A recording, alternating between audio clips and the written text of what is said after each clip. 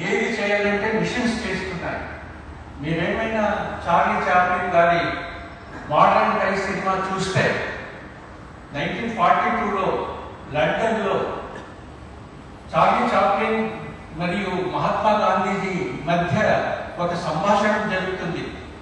ఆ సంభాషణలో ఈ కాటేజ్ ఇండస్ట్రీస్ విలేజెస్ గురించి మహాత్మా గాంధీ గారు బాగా చెప్తారు కానీ అది ఎట్లా అది ఎలా సాధ్యమని ఈయన క్వశ్చన్స్ చేస్తాడు చార్లీ చాప్లిన్ తర్వాత కొన్ని నాలుగైదు సంవత్సరాల తర్వాత చార్లీ చాప్లిన్ మోడర్న్ టైమ్స్ అని ఫిల్మ్ చేస్తాడు యంత్రాలు ఎక్కడ ఉంటాయా అక్కడ మనుషులు యంత్రానికి దాసుడైపోతే ఈ సమాజం ఎలా ఉంటుంది? అని మీరేమైనా Steven Spielberg film artificial intelligent అంటే అని ఒక ఫిలం ఉంది. మీరు చూడొచ్చిన. మనుషులు లేరు అక్కడ. యంత్రాలు రోబోట్స్ ఉన్నాయి. అక్కడ ఒక అన్లోడ్ చేస్తారు. రోబోట్సే ఒక లారీలో ట్రక్కుల నుంచి ఒక అన్లోడ్ చేసి ఏమేమి అన్లోడ్ చేస్తారంటే చెవులు కన్ను నాలుక లివర్ కిడ్నీ హార్ట్ ఇవన్నీ వేస్టేజ్ అని చేస్తారు అక్కడ రోబోట్స్ ఉంటారు కదా వాళ్ళు చేయి చేయి లేని వాళ్ళు చేతులు పెట్టుకుంటారు కాళ్ళు లేని వారు కాళ్ళు పెట్టుకుంటారు చెవులు లేని చెవులు పెట్టుకుంటారు. ఇలా ఒక సమాజం నిర్మాణం అవుతా ఉంది. మనుషునికి విలువ లేదు.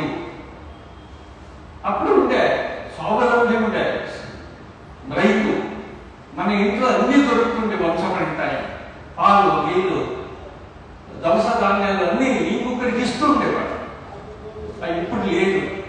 ఆ రైతుకి స్వావలంబితన లేదు. డిపెండబుల్ నాన్ డిపెండబుల్ లానే. డిపెండబుల్ ఇప్పుడు రైతు. ఇప్పుడు పాలు పండిస్తున్న రైతు చిన్న గుడిసెలు ఉంటాడు. పాల్కోర్ వ్యాపారం చేసే వ్యక్తి ఫైవ్ స్టార్ హోటల్ ఉన్నాడు ఇది ఎంత వైరుధ్యం? మేము అర్థం చేసుకోవాలి.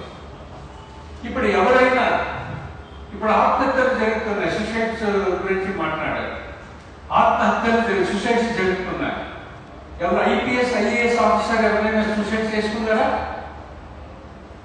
పొలిటీషియన్స్ ఎవరైనా సూసైడ్ చేసుకున్నారా? ఎవరు చూసుకుంటే సూసైడ్ చేసుకున్న వారు మనకు అన్నం ఇచ్చే మా బాధతలను చూసుకున్న రైతులు ఆత్మహత్య చేసుకుంటున్నారు. ఒక అధ్యయనం ప్రకారం మన ఇండియాలో స్వాతంత్రం వచ్చిన తర్వాత twenty six two lakhs ninety six thousand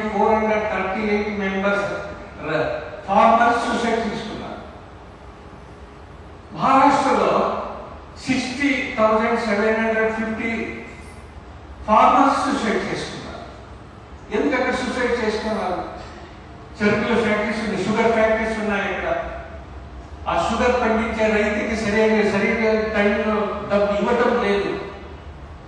ఎందుకంటే షుగర్ మాకు అవసరం లేదు షుగర్. మాకు మనం వారానికి ఒక కిలో అయితే చాలు షుగర్. అన్ని షుగర్ నైంటీ పర్సెంట్ షుగర్ పోయేది ఎక్కడ అంటే Bikaner sweets Pepsi Coca Cola Sprite ఇని మా పే పానీయ పేయలు ఉన్నాయి కదా ఆ ఫ్యాక్టరీ పోతుంది షుగర్ నైంటీ సిక్స్ పర్సెంట్ వచ్చిన డబ్బున డబ్బుని సరే పంచకం లేదు మన ఫ్యాక్టరీ బోనస్ ఈ పరిస్థితి ఉంది కదా ఇది చాలా డేంజర్ సిచ్యువేషన్లో ఒక రైతు ఉన్నాడు. ఇప్పుడు బెంగళూరుకు వస్తే అక్కడ పనిచేసేవాడు ఫ్యాక్టరీలో పనిచేసేవాడు రోడ్లు పనిచేసేవాడు. మన శాంతినారాయణ శాంతినారాయణ గారు పూర్వంలో ఒక అపార్ట్మెంట్ కట్టించాడు. కట్టిన వాళ్ళంతా నిర్మించిన వాళ్ళంతా రైతులు. ఇక్కడి నుంచి పోయిన రైతు. సరిగ్గా వారు సరి సమయానికి వర్షం పడటం లేదు. రైతు ఈ ఎరువులు ప్రైస్ ఎక్కువ చేస్తున్నారు? ఇలాంటి సమస్యలు ఎంతవరకు ఉంటాయో అంతవరకు మన రైతులు ఉన్నారు కదా రైతుల గురించి రాయాలి రాస్తే చాలు మన ఊరికే పద్యాలు కథలు నవలు రాస్తే చాలు బయట మనం ఫైట్ చేయాలి against government against against corruption నేను ఫైట్ చేయగలరా చెరబండ రాజు అలాంటి వాళ్ళు అప్పుడే ఫైట్ చేశారు వర్షమైతాయి పండుగలు కదలేసినాం బండలను పిండినాం మానేత్తరు కంతులుగా ప్రాజెక్టులు పెట్టినాం కించెవడిదిరో కంచెవడిదిరని ఒక పద్య రాశాడు వర్షపడ్డాయి ఇప్పుడు ఎవరు రాస్తున్నారు? అలాంటి కవిత. ఎవరు రాయటం లేదు. ఎవరికి? అర్థం కాని కవితలు రాస్తున్నాం. ఒక ఆయన చెప్పారు వంశాపడ్డాయి మీరు అక్షరాలన్నీ గ్లాస్ పైన రాసి అక్షరాలు కింద పడేసి తర్వాత ఆ గ్లాస్ అన్ని జోడిస్తే అర్థం లేని కవిత్వం ఎలా ఉంటుంది? అలా కవిత్వం సృష్టిస్తున్నాం. అదే కవిత్వానికి కథ నవలకి వ్యత్యాసం అర్థం చేసుకో చేసి పాడాల కవిత పాడాల? పాడడానికి అనువైన కవిత్వాలు పద్యాలు రాయాలి. ఇప్పుడు ఆయన పాడినాడు కదా. భూమిలు మాయమవుతున్నాయి రైతులు మాయమవుతున్నారు. అలాంటి పద్యాలు రాయాలని అప్పుడు దిగంబర కవులు రాశారు కదా వన్స్ అపర్ ఏ టైం ఒక యాభై సంవత్సరాలు కనుక రాశారు కదా ఎవరో వస్తారని ఏదో చేస్తారని నిజము మరచి నిద్రపోదమని రాశాడు once upon a time Sri Sri ఇప్పుడు అలాంటి పద్యాలు ఎవరు రాస్తున్నారు అందుకు అందు కనుక అర్థం పొయిట్రీ అంటే కమ్యూనికేట్ కావాలి కమ్యూనికేట్ ఏమి పొయిట్రీ పొయిట్రీ కాదు. అందుకే కమ్యూనిటీ ఈజీగా కమ్యూనిటీ కాదు. ఎవరైనా ఇప్పుడు కేరళలో రామనాథన్ అనే ఒక కవి విమర్శకులు విమర్శకుల దగ్గర కవితం చదవలేదు ఆయన. ఆయన ఎక్కడ సంత జరుగుతోంది ఎక్కడ హమాలీలు ఉన్నారు ఎక్కడ ఆసుపత్రులు రోగిలు ఉన్నారు అక్కడ పోయి తాను రాసిన పద్యాలు చదువుతుండేవాడు పాడుతుండేవాడు ఆయనకి కేంద్ర సర్ జ్ఞానపీఠ అవార్డు వచ్చింది వంశపెట్ట అలాంటి పద్యాలు రాయాలి అందులో రాయాలి ఇది సాయంత్రం నాలుగు గంటల వరకు జరుగుతూ ఉంది నాకు సరిగా సరిగా తెలుగు రాదు అంటే నాకు తెలుగు ఆంధ్రానికి సంబంధించిన వాటి నేను కూడా ఆంధ్రాలో ఆంధ్ర అన్ని భాగాలు చూశాను.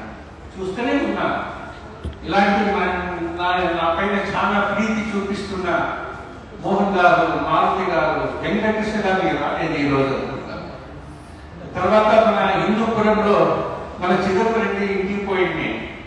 ఆయన ఒక బ్రతుకు వెతుకులోని ఒక పుస్తకం ఇచ్చారు. సగం చదివినాను కానీ ఇంకా సగం చదివలేదు మన పెద్ద నది గురించి రైతుల గురించి మన శాంతినారాయణ గారు పెద్ద నవల రాశారు. దానికి కేంద్ర సాహిత్య అకాడమీ అవార్డు రావాల్సిందే కానీ రాలేదు.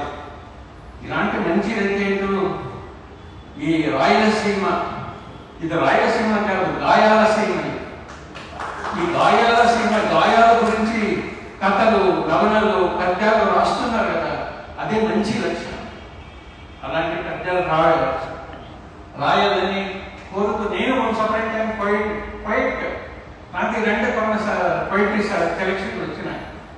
తర్వాత పోయిటరీ గురించి నాకు కొంచెం కొత్తగా నీ పోయిటరీ రాయకూడదు నీకు పోయిటరీ రాయడానికి రాదు అని సరస్వతంగా చెప్పిన తర్వాత నన్ను కథానికి చెప్పాయి నీ కథ సరిగ్గా రాయడం లేదు కథ సరిగ్గా రాయదు అని చెప్పిన తర్వాత నవలకి వచ్చాను ఇప్పుడు నవల రాస్తున్నాను. అలాంటి మేము ఇప్పుడేమి సచిన్ టెండూల్కర్ ట్వంటీ ట్వంటీ ఆడు క్రికెట్ ఆడతారు టెస్ట్ మ్యాచ్ ఆడతారు వన్ డే మ్యాచ్ ఆడతారు అలాగే ఒక రైటర్ పోయిటరీ ఫిక్షన్ నావెల్స్ ఇట్లా మేము చేంజ్ చేసుకొని పోతే బాగుంటుంది. రైట్ రైటర్ ఇన్సైడ్ ఇన్సైడర్గా ఉండకూడదు వీధిలో ఉండాలి స్ట్రీట్ స్ట్రీట్లు ఉండాలి. ఎక్కడ ఏమేమి? మన ఇండియా అంటే అసమాన అసమాన అసమానానికి ఈక్వాలిటీ లేదు. ఇన్ని కుల కులములు ఉన్నాయి. ట్వెల్వ్ థౌజండ్ కులములు ఉన్నాయి. భయానకమైన రాష్ట్రం ప్రపంచంలో ఏదైనా ఉంటే అది మన భారతం. ప్ర- భయానకం ఉంది కదా వాతావరణం. ఇప్పుడు ఒక ఒక మాదిరిగా ఈ వ్యక్తి వ్యక్తుల నడు మధ్య చీని గోడలు సృష్టిస్తున్నారు అగోచరమైన గోడలు సృష్టిస్తున్నారు ఇది అపాయం మన డెమోక్రసీ చాలా అపాయం ఈ దీంట్లో ఉంది. ఏమ్మా? అందుకోసం మన రైట్స్ రెస్పాన్సిబిలిటీ సోషల్ రెస్పాన్సిబిలిటీ ఉంది కదా అది నేను అర్థం చేసుకోవాలి మోహన్? అని చెప్తూ ఇలా రాణి తెలుగు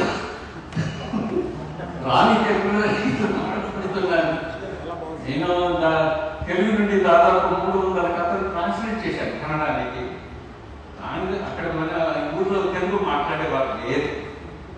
కమ్యూనికేషన్ ప్రాబ్లం ఇది ఇలాంటి మన ప్రియమైన ఆంధ్రానికి వచ్చిన తర్వాత ఇక్కడ నేను తెలుగు మాట్లాడుతున్నాను ఈ అవకాశం ఇచ్చిన మన చెంగారు మోహన్ గారికి మన నాలుగు పోలీస్ నమస్కారం చెప్తూ నన్ను మాటలు ముగిస్తున్నాను. నమస్కారం.